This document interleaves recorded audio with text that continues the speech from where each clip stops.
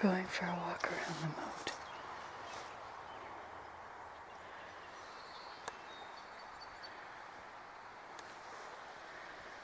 Isn't that beautiful? Look at those reflections.